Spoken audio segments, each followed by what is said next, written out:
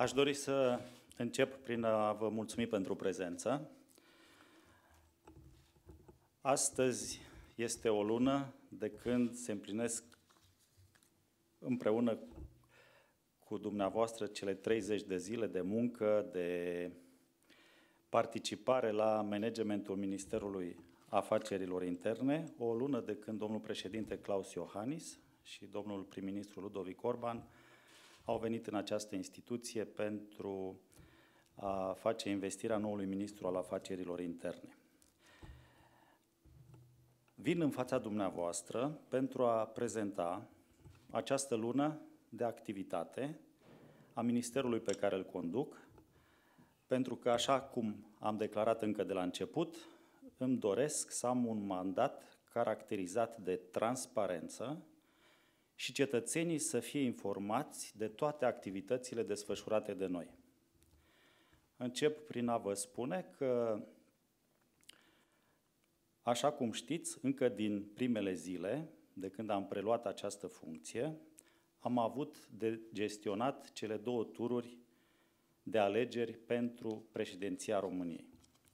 Raportat la scrutinul prezidențial din 2014, anul acesta a fost o scădere cu peste 50% a numărului de contravenții și infracțiuni sesizate la legea electorală.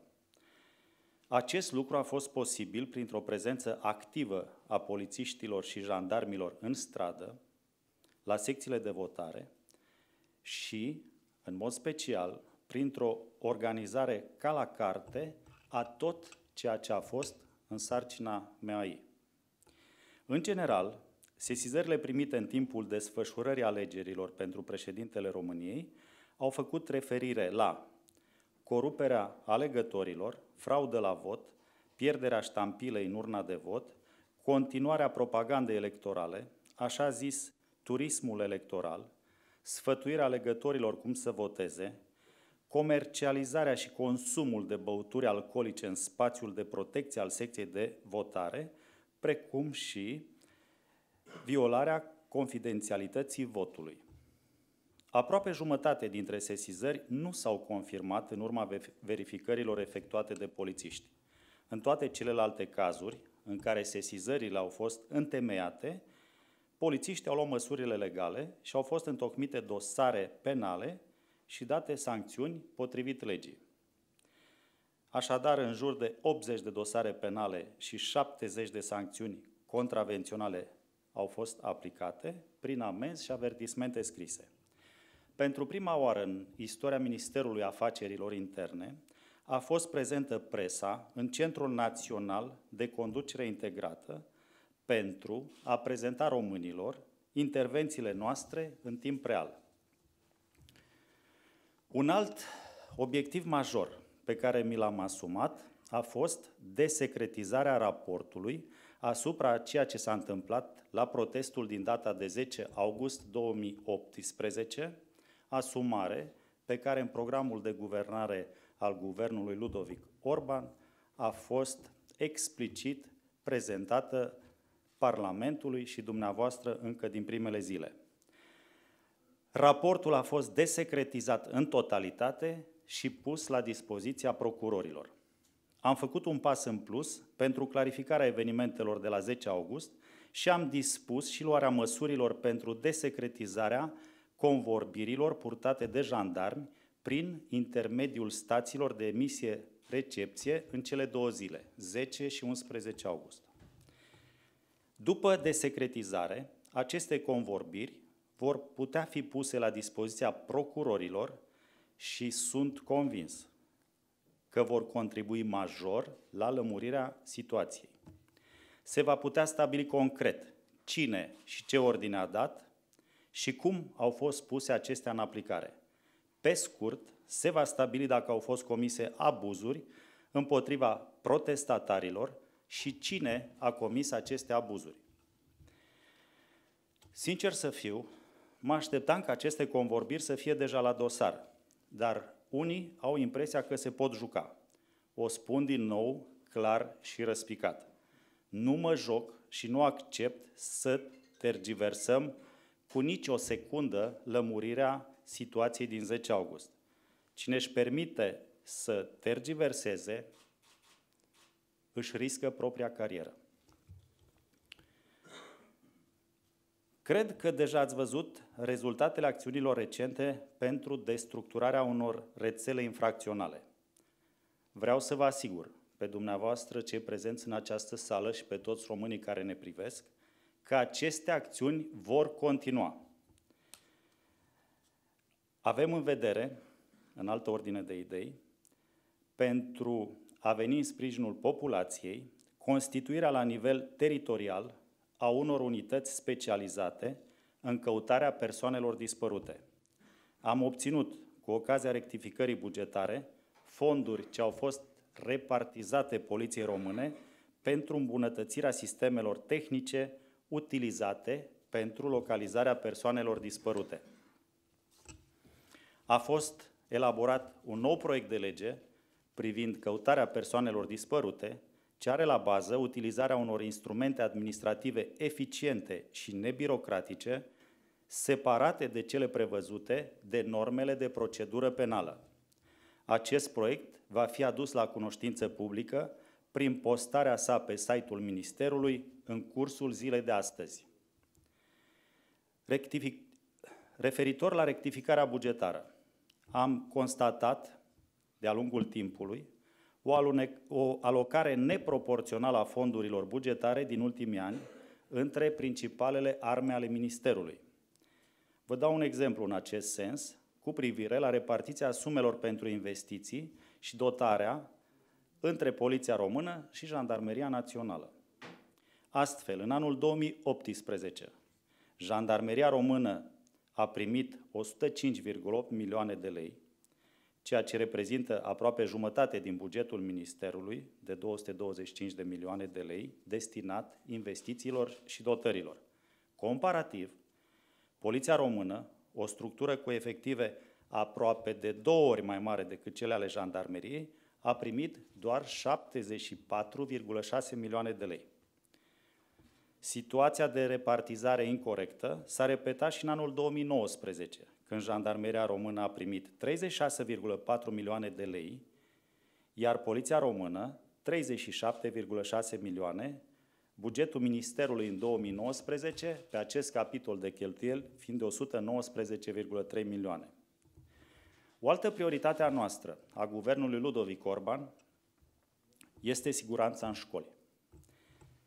Am inițiat discuții cu ministrul învățământului, doamna Monica Anisie, și vicepremierul României, doamna Raluca Turcan, pentru punerea în aplicare imediată a primelor măsuri în acest sens, creând un grup de lucru tripartit. Am cerut Poliției Rutiere, în special Brigăzii Rutiere București, cu privire la traficul din București, acțiuni de fluidizare în parteneria cu toate autoritățile de competență în domeniu, astfel încât cetățenii să circule în siguranță și să petreacă mai puțin timp în trafic. Aici am în uh, plan o întâlnire cu consilierii generali, indiferent de culoarea politică, ai municipiului București, cu doamna primar general, pentru a clarifica ceea ce face la nivelul primăriei Comisia de Sistematizare Rutieră. Pentru că ceea ce se întâmplă în București la ora actuală este de neacceptat. Dacă faceți o evaluare, un bucureștean trăiește în trafic două ore pe zi. Înmulțiți cu 30 de zile și apoi cu 12 luni și o să vedeți că în timpul unui an, un bucureștean, în timpul activ de 12 ore, două luni stă în trafic. Este inacceptabil într-o capitală europeană ca un compatriot, un concetățean, să petreacă în trafic așa mult timp. Vă spun cu experiență de primar că pot fi rezolvate printr-o reorganizare a traficului în București, prin fluidizare, măcar parte din probleme. Poliția rutieră, care este acum în intersecții, acționează asupra efectului, nu asupra cauzei. Indiferent câți polițiști rutieri aduce Ministerul de Interne în stradă, problema există în continuare. Așadar, prin acest dialog doresc, împreună cu specialiștii din minister, să clarificăm și probleme de fond, de fond adică să găsim acele cauze care pot fi eliminate și pot ajuta bucureșteanul să nu mai petreacă așa mult timp în trafic. Acum vă explic despre reformă și profesionalizarea din mai anunțată la începutul mandatului. Așa cum ați văzut, am început curățenia, inclusiv în interiorul Ministerului Afacerilor Interne. Cazul de la Caraș Severin este un exemplu, dar acesta nu este singular și structurile specializate din Ministerul Afacerilor Interne, care își fac datoria și sunt profesioniști adevărați, vor veni și cu alte exemple, până când toți cei care nu respectă legea în această instituție vor fi, nu vor fi sancționați și eliminați, nu ne vom opri. Am sistat toate concursurile din prefecturi, un subiect drag și discutat, din motive foarte obiective și simple, pentru că mi-am dorit să avem garanția că acestea vor fi organizate conform legii și nu cu dedicație.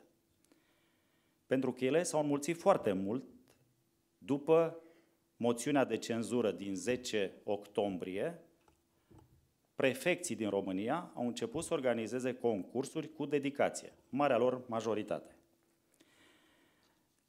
În acest moment este în desfășurare un audit la nivelul tuturor structurilor mai pentru a analiza care este soluția cea mai bună pentru eficientizarea activității în toate domeniile Ministerului prin reorganizare, restructurare și eficientizare, astfel încât angajații Ministerului să fie apropiați de cetățean, să coboare în stradă, în funcții operative, cei care până acum, pe vremea altor miniștri, s-au ascuns în unele birouri călduțe din sediile inspectoratelor și ale Ministerului. Am fost nemulțumit de modul în care s-a intervenit la Timișoara atunci când, abia după ce trei persoane și-au pierdut viața, au fost evacuate persoanele din imobilul în care s-a realizat dezinsecția. Am dispus verificarea tuturor firmelor care dețin sau comercializează substanțe și produse chimice folosite pentru serviciile de deratizare, iar măsurile nu se vor termina aici. Aș adăuga și o nemulțumire legată de implicarea imediată și unele întârzieri în intervenția de la Constanța, după ce vasul cu animale, așa cum știți, s-a scufundat. Pentru că sunt și părți bune în acest minister, continui această declarație prin a vă spune despre recompense și despre recunoașterea meritelor angajaților mai. Transmit felicitări echipei de căutare-salvare din cadrul Ministerului, care a intervenit în Albania după devastatorul cu tremur de săptămâna trecută. Domnul președinte Claus Iohannis a solicitat implicarea de urgență a țării noastre după activarea mecanismului european de protecție civilă și cei 52 de pompieri salvatori, conduși de colonelul Vasile Pirtea, s-au mobilizat și au fost gata de misiune în câteva ore. Iar în cursul aceleiași zile au fost transportați la Tirana cu două avioane puse la dispoziție de Ministerul Apărării Naționale, profitând acum de acest moment, îi mulțumesc și domnului ministru Nicolae Ciucă pentru ajutorul operativ de săptămâna trecută. Pompierii salvatori au acționat sub coordonarea autorităților locale, fiind solicitați pentru căutarea salvarea unor posibili supraviețuitori aflați sub dărâmăturile clădirilor prăbușite în urma cutremurului care a avut loc marți dimineață. Specialiștii români au extras de sub dărâmăturile unei clădiri prăbușite trei corpuri neînsuflețite, care au fost preluate de autoritățile locale. Cu toate că operațiunile au fost îngreunate de nenumărate replici care au urmat seismului din dimineața zilei de 26 noiembrie, Echipa de salvare-căutare s-a confruntat cu una dintre cele mai dificile misiuni ce le putea pune oricând viața în pericol. Au acționat cu mult curaj și responsabilitate, dovedind încă o dată că salvatorii Ministerului Afacerilor Interne sunt niște eroi oriunde s-ar afla. Echipa de salvatori a fost onorată și recompensată de guvernul albanez, a revenit în țară chiar de ziua națională și pentru a le arăta aprecierile noastre pentru tot ceea ce au făcut, i-am întâmpinat la aeroport și le-am strâns mâna. Avem nevoie în Ministerul Afacerilor Interne de oameni ca ei și săptămâna viitoare vor fi recompensați chiar de către domnul președinte Claus Iohannis. Cu ocazia Zilei Naționale am avansat, înainte de termen, polițiști și șandarmi care și-au îndeplinit datoria în mod excepțional, unii dând dovadă de eroism. De exemplu, echipajul de jandarmi Arădeni, care a salvat din apele înghețate ale râului Mureș o femeie care încercase să se sinucidă.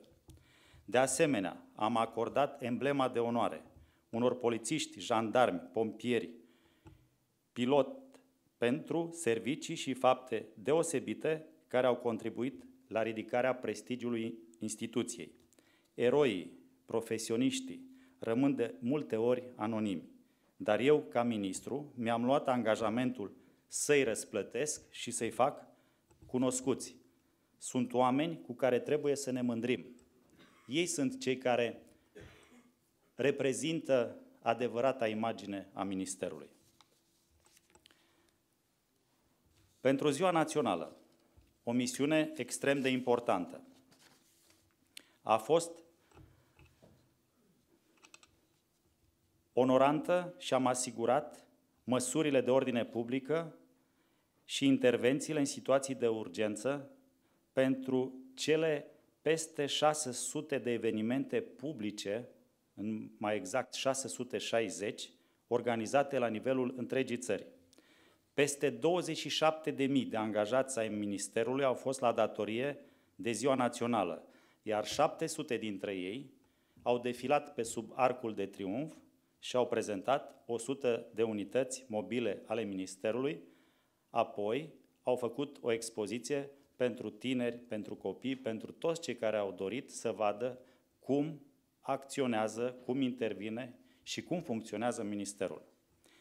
Misiunile efectivelor Ministerului au vizat prevenirea și combaterea faptelor antisociale, fluidizarea traficului rutier, în special în zonele unde au fost impuse restricții de circulație și asigurarea asistenței medicale de urgență în cazul în care acest lucru se impune.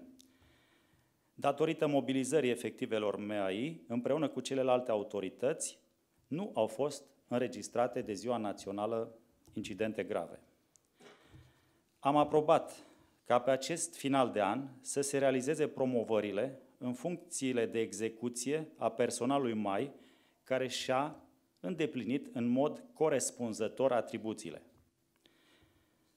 Ca senator, alături de colegul Florin Câțu, acum ministru de finanțe, am fost coinițiatorul unei legi care reglementează adopția animalelor de serviciu din structurile din sistemul de apărare, ordine publică și siguranță naționale, care intră în vigoare începând cu data de 1 ianuarie. Suntem în curs de realizare a unui site care să permită celor interesați să poată adopta un astfel de animal.